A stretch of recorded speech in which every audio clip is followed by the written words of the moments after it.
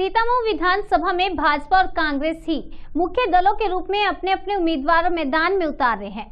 दोनों ही अपनी अपनी जीत का दावा पेश कर रहे हैं, किंतु आज देखा गया कि कुरावन में भाजपा के पराजित उम्मीदवार राधेश्याम पाटीदार के जन आशीर्वाद यात्रा में स्थानीय लोग कम दिखाई दिए, यानी ऊँट के मुँह में जीरे के समान दिखाई दिए।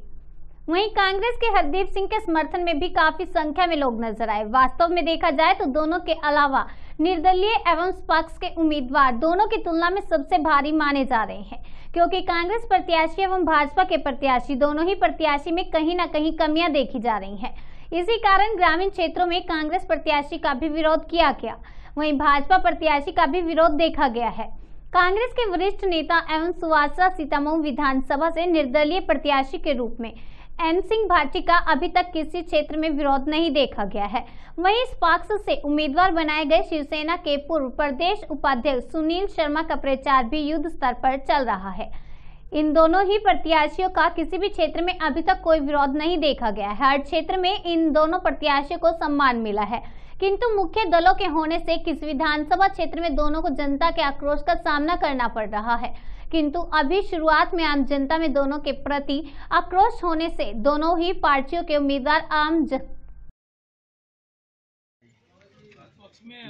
पक्ष में विपक्ष में दोनों है फिफ्टी फिफ्टी परसेंट जबकि बीजेपी का गढ़ था ये और उनसे नाराज़गी है यहाँ से एक रसद और ले जाओ आप उधर से एक लीटर पेट्रोल डालवा के आ जाओ बस। ये है अच्छा पेट्रोल के लिए आप इधर से उधर दौड़ते हो? और क्या है? हमारे हमारे आदरणीय हीरालाल जी द्विवेदी साहब जो राष्ट्रीय अध्यक्ष हैं और वो भी एक पूरी टीम उनने गठित की वो सभी यहाँ आएँगे प्रचार के लिए। मेरी बात हुई उनने कहा कि जहाँ जहाँ भी जो है जब भी जो सपाक्ष का उम्मीदवार बुलाएगा हम लोग जाएँगे और पूरा प्रचार के लिए आएँगे लोग। आम आदमी पे ध्यान नहीं देते हैं अपने कार्यकर्ता से मिलते हैं बाकी दूसरों से नहीं मिलते हैं। तो क्या कारण अब बीजेपी जीत पाएगी अब कि नहीं जीत पाएगी फिर? ये तो बहुत लंबा प्रोसेस है कि पूरे पूरे देश का चुनाव है। आज नगर में आशीर्वाद लेने विधायक महोदय निकले हैं। पूर्व विधायक। पूर्व विधायक आशीर्वाद लेने निकले हैं। गाँव की जनता उनके साथ क्यों नहीं गई है? क्या कारण?